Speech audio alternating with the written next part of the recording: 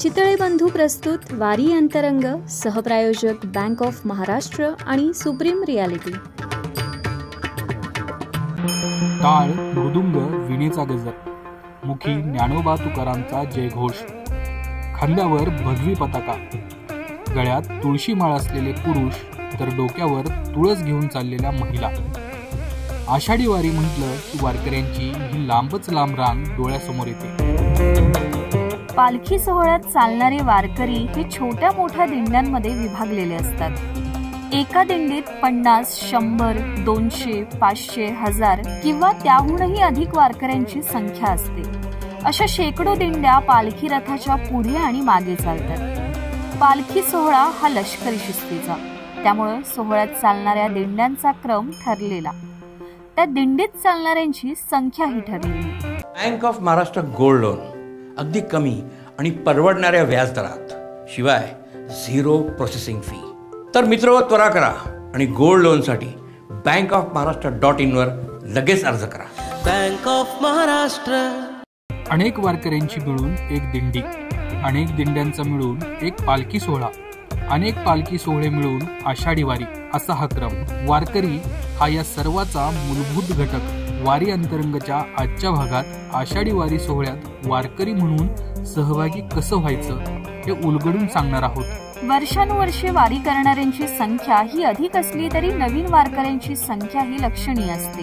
वर्षानुवर्षे वारी करणाऱ्या वारकऱ्यांना वारी सोहळ्याचे बारकावे माहीत असतात. कोणता मुक्काम कठीण कोणता सोपा वारीत काय साहित्य घ्यावं झोपण्याची जेवणाची व्यवस्था कशी असते याबाबतचा अनुभव त्यांच्याकडे असतो. प्रत्येक विनेकरी सकाळी पालखी हलण्याच्या अगोदर हजेरी देतात दर्शन घेतात आणि दर्शन घेऊन तिथून नंबर प्रमाणे सर्व दिंड्या चालत असतात. मग ह्या दिंडीमध्ये येण्यासाठी प्रत्येक असा उत्सुक होतो की दिंडीमध्ये यावं आणि दिंडीमधला अनुभव आहे काय मिळतं यामधनं असा आनंद काय आहे हा शब्दात सांगता येणार नाही. मग चला आपण सोबत जाऊ सोहळ्यामध्ये आपण पण जाऊ. मग कुठल्या तरी दिंडी मालकाकडे जाऊन संपर्क होत असतो आणि संपर्क झाल्याच्यानंतर मग दिंडी मालक थोड्या काही अटी सांगतात. ओळख आहे का कोणाची? किंवा समजा गाव पत्ता मुक्काम सगळं विचारून त्या वारकऱ्याला त्याची जिज्ञासा की मला वारी करायची काही लागू मला वारी करायची.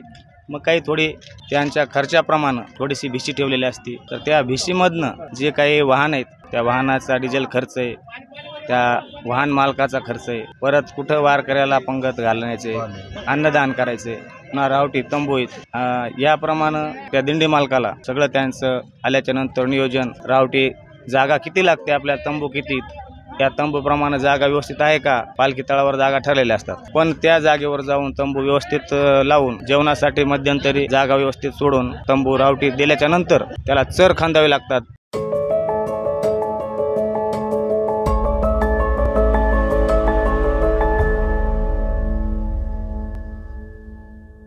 पहिल्यांदाच वारीत सहभागी होणाऱ्या वारकऱ्यांच्या मनात मात्र अनेक प्रश्न असतात. अठरा वीस दिवसांच्या प्रवासात मुक्काम कुठं करायचा? जेवणाचं काय? वारी सोहळ्यात वैद्यकीय समस्या उद्भवली तर काय करायचं?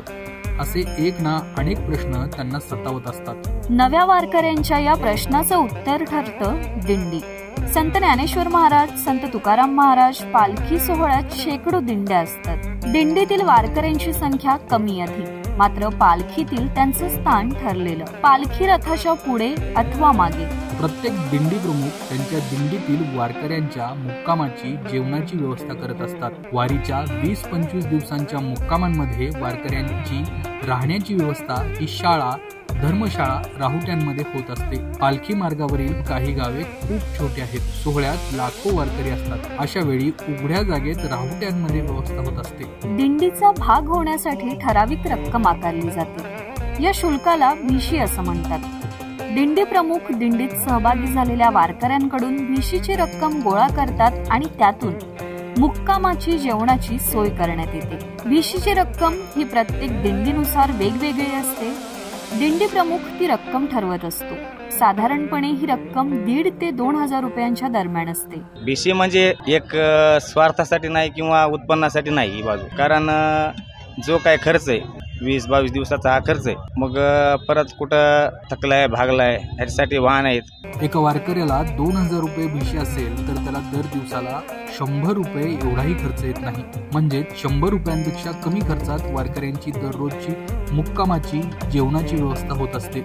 वारी सोहळ्यात अनेक वृद्ध वारकरी असतात किंवा एखादा वारकरी अनावधानाने जखमी झाल्यास त्याला दिंडीचे साहित्य वाहतूक करणाऱ्या ट्रक टेम्पोमध्ये बसवून वारी घडवली जाते. दिंडीमध्ये वारकरी आल्याच्यानंतर त्यांना रावटी तंबू व्यवस्थित जागा मिळाली का? जेवण झालं का? दोन वेळे जेवण पुन्हा परत कुठं एखाद्या वेळेस आरोग्य एखाद्या वेळेस जर कुणाची तब्येत जर बिघडली तर त्या वारकऱ्याला व्यवस्थित दवाखाना करणे पाहणे कुठं काय कमी हे पाहणे. प्रत्येक वेळेस कसं असतं म्हणजे काय जुन्या झालेल्या वस्तू रावटे नवीन आणणे असं हे दिंडीचे नियोजन पूर्ण हे असं असतं. वारी अंतरंगाच्या आजच्या भागात आपण आषाढी वारी सोहळ्यात वारकरी म्हणून सहभागी आणि कसं व्हायचं हे पाहिलं. भेटूयात उद्या आणखी एका नव्या विषयासह